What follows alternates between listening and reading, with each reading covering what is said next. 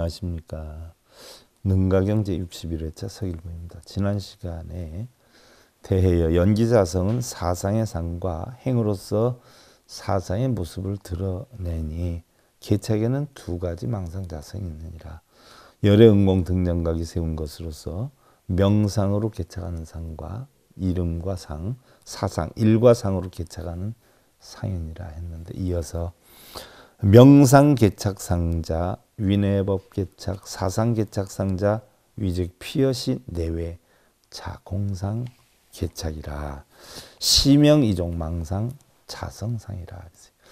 자 명상으로 개착하는 상이란 것은 안팎의 법을 개교하여 집착하는 것이고 사상으로 개착하는 상이라는 것은 안팎의 자상과 공상의 개교에 집착하는 것이니라.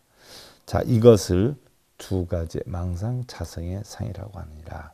다 망상으로 만들어낸 상이 되는 거죠. 약의 약연생, 시명연기, 운하성 자성, 위명상, 사상망상, 성지소득, 급자각성, 지취소행 경계, 시명성자성, 열의 장심이라. 만약 의지나 반연으로 생기면 이를 연기라고 한다. 자기의 뜻하고자 하는 것이나 그 인연에 따라 생기면 이것을 연기라고 한다. 그럼 어떤 것이 성자성인가? 이른바 명상과 사상의 망상을 벗어나는 것이니 이것을 성질을 얻는 것이며 자 명상과 사상의 망상을 벗어나는 것 이게 성질을 얻는 것이며 바로 자각성지들이 행하는 경계이다. 이를 성자성이라 하나니 본래 자성이라 하나니 열애의 장신이라 열애의 장엄한 마음이라 이시세존 욕중선차 이설기현 세존께서 거듭 이 뜻을 펴시고자 개송으로 설하였다. 명상각상 자성이상 정지여여 시직성상이라 명상과 각상은 바로 자성의 두 가지 상이고 정지와 여여 이것은 바로 성상이다.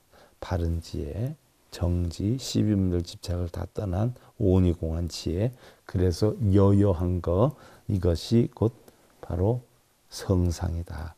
대해 시명관찰 오법 자성상경 자각성지 취소 행경계 여등제보살 마살 응당 수학이라 대해여 이를 오법 자성의 상을 관찰하는 경이라고 한다.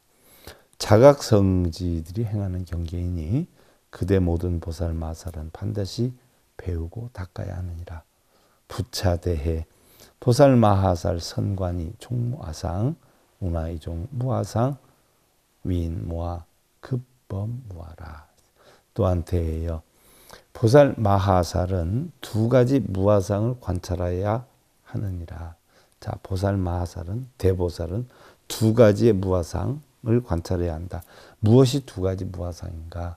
바로 인무와 법무하다. 사람도 공하고 법도 공하다는 얘기예요. 그래서 사람 내가 공하다 하면 육도윤회를 벗어나고 법이 공하다 그러면 성문과 영광을 벗어나게 되는 거죠. 운하인무와 위아소 음계 입치 무엇이 인무아인가?